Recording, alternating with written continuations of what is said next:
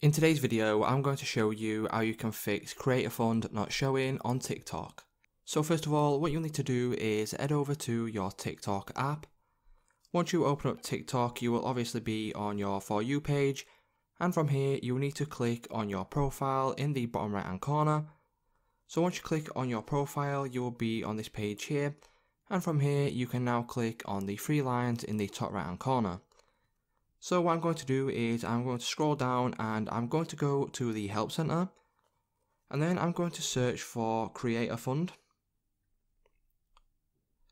Once you search for creator fund it will bring you to all the problems you are having it at the moment so if you click on how do I apply what I will show you is if you're over the age of 18 and located within an eligible region you can apply by opening your account, creator account, pro account and then TikTok creator fund. But if this option isn't showing for you, you won't be able to do this. So what I'm going to do now is I'm going to head off back.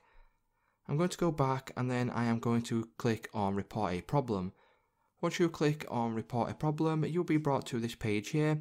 And under topics, you can see there is an option now for creator tools. So if you click on creator tools, it will bring you to this page here. And if you click on I can't switch to a pro or creator account, what that will tell you is that TikTok has now removed the Pro account, which is what you would need in order to get the creator tools. So what you need to do now is simply go back and then you can click on the icon in the top right hand corner of your screen. Once you click that, you will then be able to send a request to TikTok in order to get creator funds shown on your account. So what you can do is you can click on the little pencil icon.